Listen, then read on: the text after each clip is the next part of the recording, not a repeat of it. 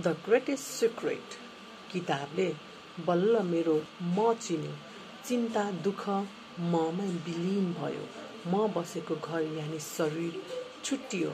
अनेकौं नकारात्मक सोचका सपना धरापमा पर्यो। एक सकारात्मक सोच बनाउने अभ्यास गरे अनेकौं सकारात्मक कोष आफै प्रकट भए। कस्ता कस्ता सोचहरू प्रकट गरे उनैले राज गरे। अब बल्ल म अगाडि आए। निच सोच दुर्गममा परे। महान गोप्य तथ्यहरू पढेकै थिए बुझिन। महान तान्त्रिकको सङ्गत गरे मरिन। म तत्व अमर अविनाशी हो नि। तिनले बुझेन। मन्त्र तन्त्रले शरीरमा रोपे फल्न र फुल्न सक्दै सकेन।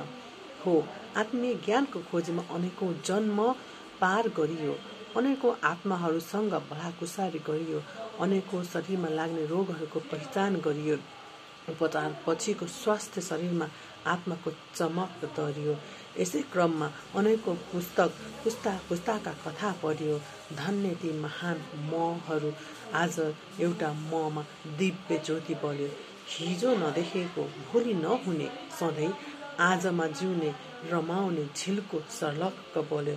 मको विशाल रूप आज बल्ल प्रकट भयो।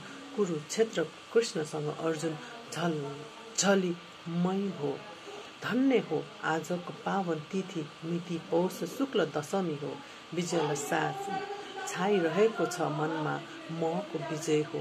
बादल झै आउने जाने ऋतु झै तपाउने र रपाउने नीति नै हो।